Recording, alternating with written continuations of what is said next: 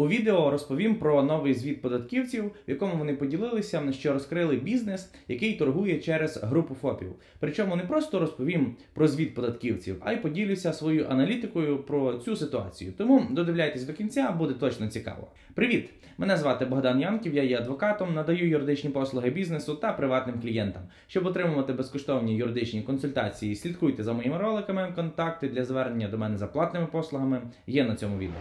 22 вересня Державна податкова служба поділилася на своєму сайті новиною, в якій описала, що вони розкрили мережу магазинів, які торгують під одною назвою, але водночас діляться на багато ФОПів, таким чином дороблять свій бізнес. Якщо вам цікаво почитати перше джерело, як завжди залишаю лінк в себе в телеграм-каналі, і знову ж таки ще залишу не тільки посилання на цю новину, а й також іншу інформацію, яку давали податківці приблизно рік тому, в попередньому році, про плюс-мінус аналогічну ситуацію, як вони теж розкривали групу ФОПів. Тому переходьте на телеграм і читайте перше джерело, якщо вам цікаво. Перший висновок, який ми можемо зробити з новини податківців, це те, що вони проаналізували діяльність відомої мережі.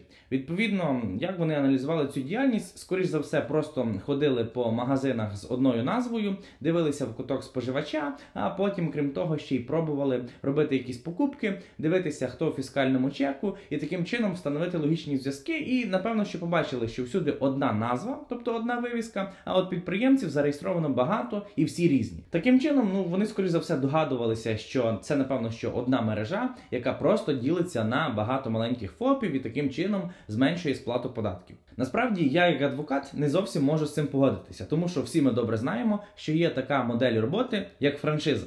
Тобто є власник франшизи, який продає свій бренд, який продає модель роботи бізнесу. А ті дрібні підприємці, які працюють по франшизі, діляться прибутком внаслідок того, що вони купили цю франшизу.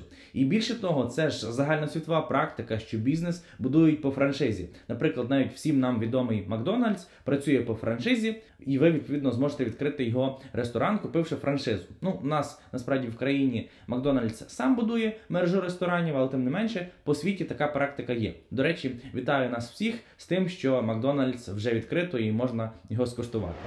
Але тим не менше, рухаємося до податкових справ. Так от внаслідок цього поверхневого аналізу відвідування магазинів податківці призначили фактичну перевірку. Нагадаю, що фактична перевірка це такий вид перевірки, коли податківець прям приходить до вас на торгову точку, дивиться касову дисципліну, дивиться, чи оформлені працівники. Так само може перевірити, чи маєте ви касовий апарат. Одним словом, це все про фактичну перевірку, і її зараз дійсно можуть проводити. Бо документальну перевірку, коли запросити повністю перелік документів, договорів оренди, договорів франшизи, виписки з банківського рахунку, поки що провести неможливо, бо діє мораторій. До речі, я детально в іншому ролику розповідав, як проходить фактична перевірка, які є в ній нюанси. Якщо вам цікаво дізнатися більше, то звичайно, що переходьте за посиланням і переглядайте. Тому, як наслідок, єдиним способом перевірити цих підприємців, враховуючи, що вони ФОПи, можна було тільки фактичною перевіркою. Які штрафи в процесі фактичної перевірки змогла накласти податкова? Вони змогли виявити три основні порушення, які виділені в новині.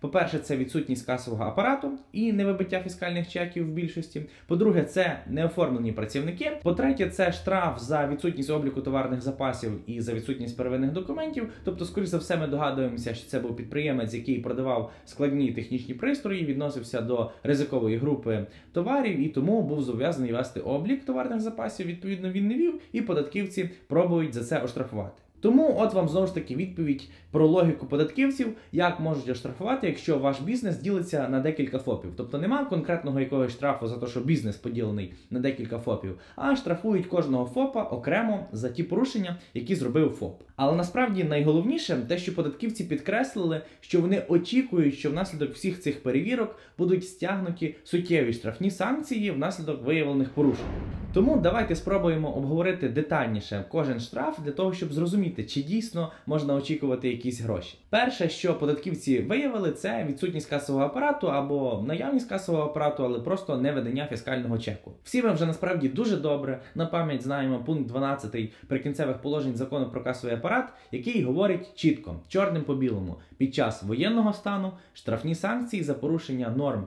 роботи з касовим апаратом не застосовуються. Знаю, що деколи податківці люблять казати, що все одно штрафи застосовуються і касовий апарат все одно потрібен. Ну але знову ж таки, давайте відкриємо закон. Як ви бачите його на екрані, чорним по білому пише, що штрафи не застосовуються. Об'єктивно, цю норму я ще пригадую, приймали і говорили, що будуть складні часи, тому треба, щоб бізнес працював, щоб забезпечував товаром і не тратив час на касовий апарат. Тому цю норму прийняли, і це була основна мотивація. І зараз за це починати штрафувати досить дивно. Якщо хочете штрафувати, внесіть зміни в закон і тоді штрафуйте для того, щоб все було прогнозовано і бізнес міг адаптуватися. Очевидно, що оскільки пише чорним по білому, що штрафи не застосовуються, то це зрозуміло не тільки нам з вами, ну податківцям це не зрозуміло, але це буде зрозуміло в суді. Суддя відкриє, побачить норму закону, і звичайно, що це можна буде в разі необхідності скасувати.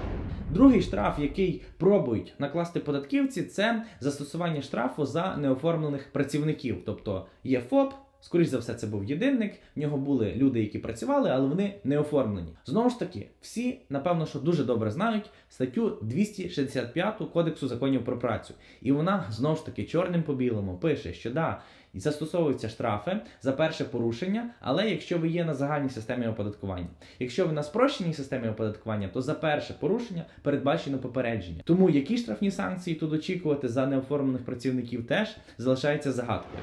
Але тим не менше, давайте рухаємося і до третього порушення, яке виявили податківці. А третє порушення полягає в тому, що не вівся облік товарних запасів. Презюмуємо, що це був підприємець єдинник, який продавав якісь ризикові товари і дійсно був зобов'язаний вести облік товарних запасів. Так от справа в тому, що штраф за відсутність обліку товарних запасів встановлений статтею 20 закону про касовий апарат. І тут знову ж таки нам в нагоді наш старий добре відомий пункт 12 прикінцевих положень закону, який знову ж таки чорним по білому пише, що будь-які штрафні санкції під час воєнного стану за порушення цього закону не застосовуються, в тому числі як і за РРО. Так само і за відсутність обліку товарних запасів. І знову ж таки, я пам'ятаю, коли вводили цю норму, то теж говорили, що за відсутність первинки малий бізнес під час війни штрафувати не будуть, тому що треба, щоб людей був товар, щоб не було дефіциту, і щоб люди хоча б отримали цей товар і не заморочувалися з первинкою.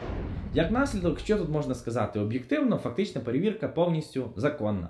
Максимум, за що вона могла оштрафувати, це за відсутність посттерміналу на точці торгівлі. Коли нема терміналу, то за це передбачено зараз штраф. Але вони пробують застосувати і інші штрафні санкції, які, скоріш за все, ця відома мережа напевно що скасує, і напевно ніяких очікувати штрафних санкцій не доведеться. Але дійсно тут справедливо відмітити, що можливо велика мережа, якщо це дійсно велика мережа, а не просто франшиза, можливо і порушувала якісь норми закону. Але знову ж таки, якщо вона їх порушувала, то має бути чітка норма закону, прогнозована, де можна зрозуміти, це не роби, бо буде штраф. А тут знову ж таки. Тут пільга, там пільга, за що штрафувати, незрозуміло. І знову ж таки, якщо в законі пише, то контролюючі органи не можуть трактувати інакше. Тому що навіть якщо вони трактують інакше, це буде скасовано в суді, і це все просто зайва робота. До речі, була так само і аналогічна ситуація, коли податківці виявляли групи підприємців, які ховаються насправді під одним великим бізнесом по IP-адресу. Я вже розповідав це в своєму іншому ролику, тому нажимайте на екран, переходьте, вам буде корисно. Побачимось в наступному відео.